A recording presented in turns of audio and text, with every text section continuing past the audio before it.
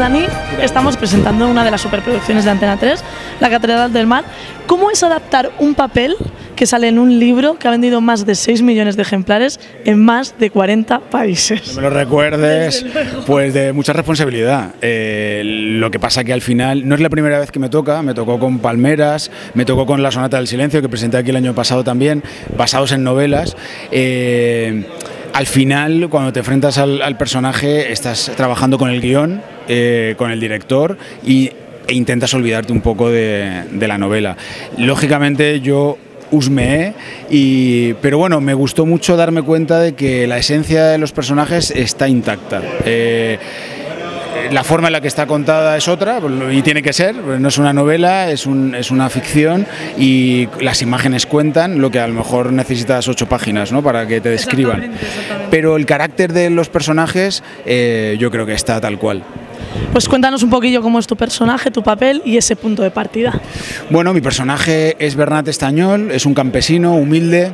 Eh, a mí me, gustaba mucho precisamente el arco que, atravieso, que viene de ser alguien que agacha la cabeza, que claudica ante las normas establecidas. Y algunas son muy duras, como el derecho de pernada del señor, por ejemplo, y, pero esa época era así.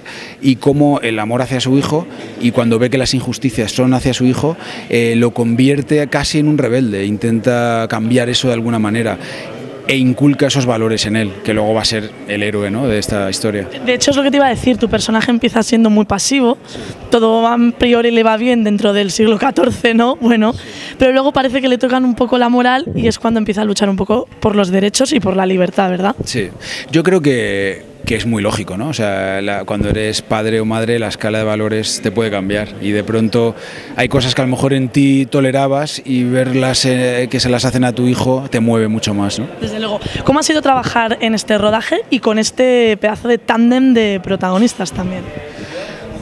Maravilloso. El rodaje ha sido muy movido, muy viajero y llevábamos además todos los capítulos abiertos porque mandaba la localización.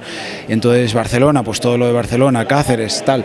Pero hay una especie de paralelismo entre la aventura de los personajes y las que hemos tenido los actores de viajar arriba y abajo para, para rodar esta serie. Y con los compañeros fantástico, es que son todos maravillosos. Eh, tenía muchas ganas, hace un personaje pequeño, pero tenía muchas ganas de trabajar con Nora Navas, por ejemplo, que, es, que ha sido mi hermana. Y luego para mí, por otra parte, la serie ha sido muy endogámica, ¿no? porque yo sobre todo tenía relación con, con mi hijo.